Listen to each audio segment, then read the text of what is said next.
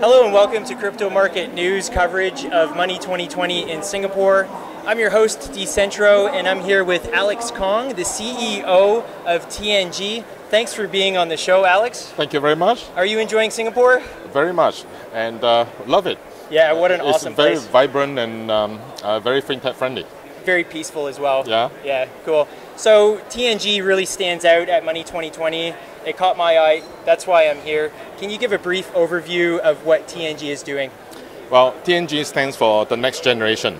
We provide the next generation of financial inclusions or financial services and focusing it for the 1.2 billion unbanked populations here in Asia. In fact, they are close to 50% of the world's population, more than 2 billion people, do not have a bank account or underbank. So we wanted to value add to them and bring them out of poverty by providing the financial platform and financial education. That's a very noble cause. Uh, it's an untapped market. It's a huge blue ocean. And when I look around, there are so many fintech companies. They're trying to improve the existing financial solutions or financial platform to the well-banked individuals. So to provide something which is already good and offer them something better, um, the, the value proposition is not strong enough. But when we look and focus on the unbanked, and, and there's no switching cost. So um, I believe the future is focused on the unbanked.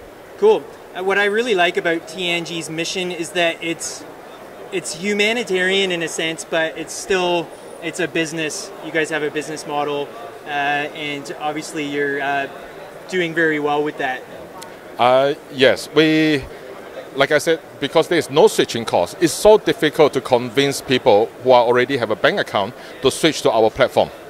While dealing with the unbanked, there is no switching cost or any concern, Right. and uh, we create tremendous value to them, and that's what we enjoy to do. Although the transaction value may, may not be high, uh, it's a high volume, high frequency, low margin business, but we get tremendous satisfaction out of it. Um, we, when we look around, a lot of the big organization, organizations, they're trying to suck the last drop of blood out from the poorest of the poor, and we decided to change that. That's awesome. I like that a lot. So speaking of the unbanked, uh, there's two billion of them that you want to help out. Uh, one of the problems I see is that many of these people do not have an internet connection, nor do they have a mobile device. So, do you have any plans to help with that problem? Well, we, we have a two-pronged approach. We started on the sending country because when you, we, when you have no money, you are poor. Yeah. You can't afford to buy a smartphone. So how do you receive money? You depends. You receive money from your overseas, um, your family members who work in overseas to send the money home. In our instance, uh, such as in Hong Kong, there are close to 400,000 domestic helpers. Um, and every month they're sending billions of dollars from Hong Kong to Philippines, Hong Kong to India, Hong Kong to Indonesia. Uh, and the, ben- the beneficiary, the family members do not have a smartphone. Right. So how can we allow the, the beneficiaries to receive money? It's actually very simple. The one who earn money in overseas, they have a smartphone. They can afford to buy a smartphone. And uh, they deposit money into our TNG wallet. One click, they can send the money through SMS to the beneficiaries.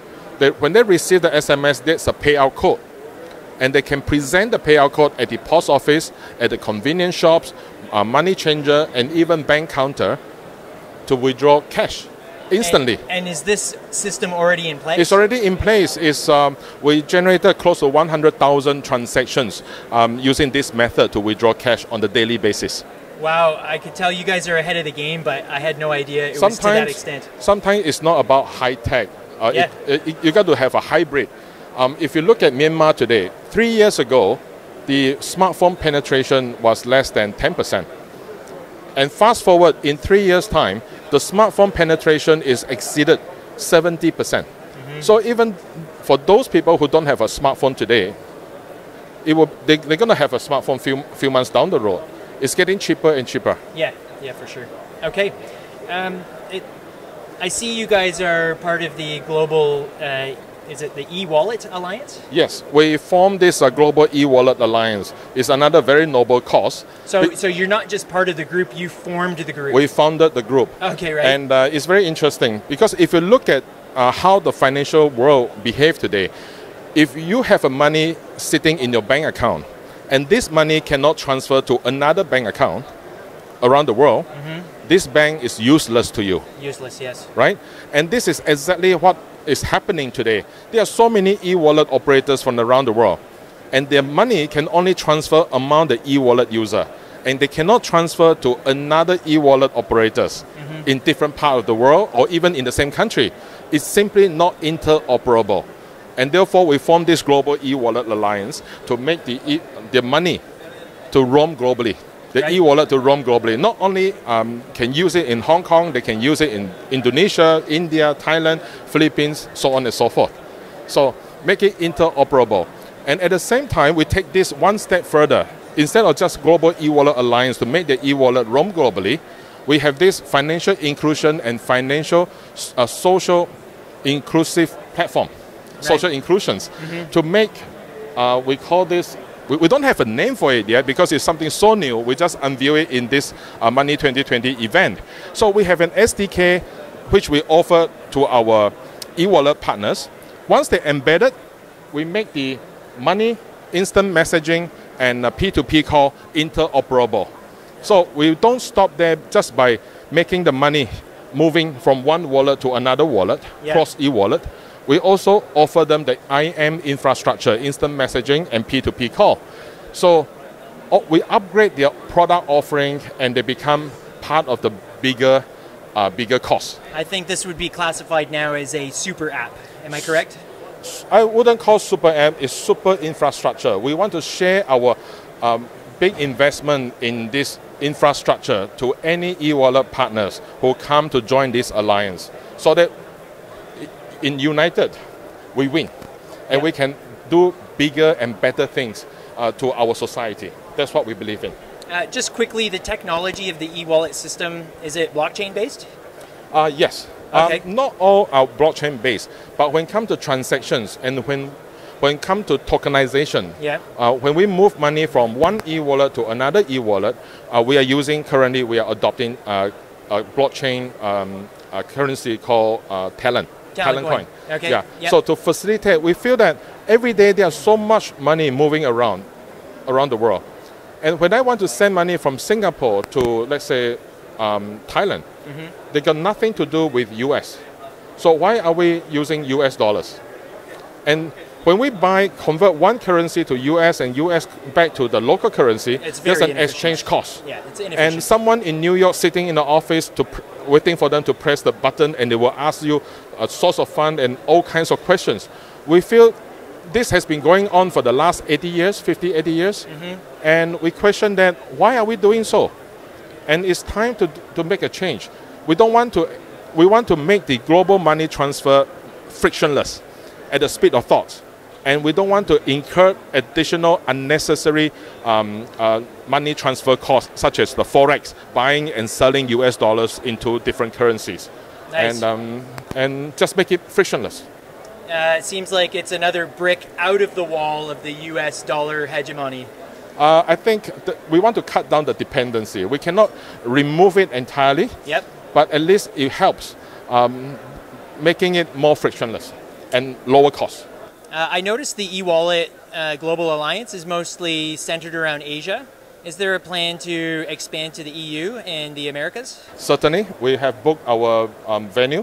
Um, we will be exhibiting in uh, Amsterdam in June in Mon- Money 2020, and also in October another Money 2020 in Las Vegas. So I'll be seeing you guys there. Last year in October, just in remittance alone, TNG had 800 million Hong Kong dollar turnover in October. Uh, it looks like TNG has capital available to really tackle almost any problem that comes your way. Uh, so, speaking of problems, what sort of obstacles do you see coming up in the next year, and how do you plan on tackling those? Uh, we we see a lot of problems in the current financial system. Uh, not to say problems, but more challenges, because we we make sure when while we are doing or offering a frictionless global money transfer, at the same time we have to be very mindful to meet the full compliance of, of the regulators, different regulators in different countries, because we want to meet the compliance such as the anti-money laundering, counter-terrorist financing, uh, real-time transaction monitoring and risk management system. So we invested in the past past years, we invested big amount of money to constantly upgrade and improve our risk management. And a state-of-the-art risk management, we want to do it better than the incumbents. Okay. Yeah. While moving, moving money at the speed of thought, we want to make it really safe for the society and for the country as well. Okay, so uh, regulatory compliance is a huge issue this It's uh, full so compliance and uh, it's always a challenge. Uh-huh. And uh, we want to make the, um, uh, we work closely with various regulators in different countries to make them understand how safe is our infrastructure. And we always say you are as strong as your weakest link. Yep. And you, if you depend on the technology that is 50 years old or 80 years old, um, it is not efficient anymore. And mm-hmm. the weakest link is actually people, human intervention. usually is. Yeah, we are the biggest risk. The if we can take away the human factor, everything is automated and there's a trace and the log with the blockchain tracking and so on is actually much much safer today Okay, so just, just to be clear, as far as regulatory compliance goes, you are actually ahead of what's required in, in a lot of cases? Most certainly. Already? Already. Okay, because a lot of companies here are uh, sort of stating what they're going to do to be compliant.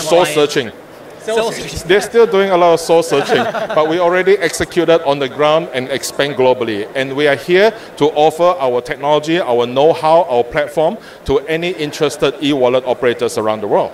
That's incredible. So, just to finish off, um, Venezuela is in economic chaos. The people there are, from what I see, suffering.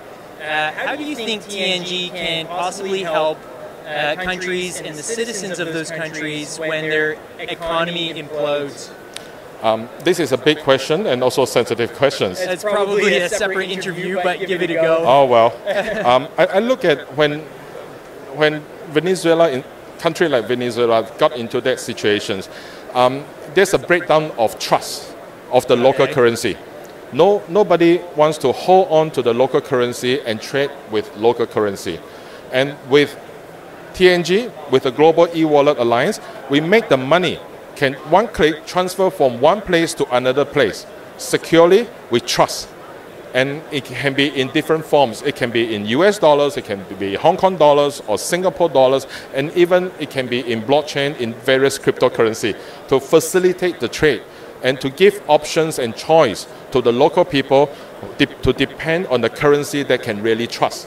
Uh, right now, uh, situation in Venezuela is not about, I think the biggest risk right now, the challenge they face is the trust. There's a breakdown of the trust of the local currency, which is out of control at this moment. Okay, I can really detect that because you can go to the root of the problem and just throw the word out, trust, as being the root of the problem. Uh, I personally see this as a reason why you guys are succeeding the way you are. Um, we are in the business of trust. So the infrastructure got to be secure. Um, the, the risk management and the AML control got to be prudent. And we are handling people's money. Therefore, a lot of young startup, a lot of fintech company, they don't have that kind of mindset. They, they just feel like, okay, I want to improve the current situations. And they have very little knowledge of or background experience about financial world and how, how to deal with the regulators, what are the real concern is, where are the real problem what problem are we solving today and what value are we creating to our users. So once they understand this, then it, they will be in a better position and uh, to, to deploy or come up with a, a, a, stronger solutions. And we wanted to accelerate in TNG is we want to be open and share our experience and knowledge uh, to try to accelerate the change, accelerate the growth of this industry, this globalization. All right, well, thank you very much for uh, being on the show it's been a pleasure, and I wish you the best of luck to help out the unbanked 20 billion. Thank you. Thank you. See you. Subscribe to my channel, ring the bell, and follow Decentro on Steemit and Twitter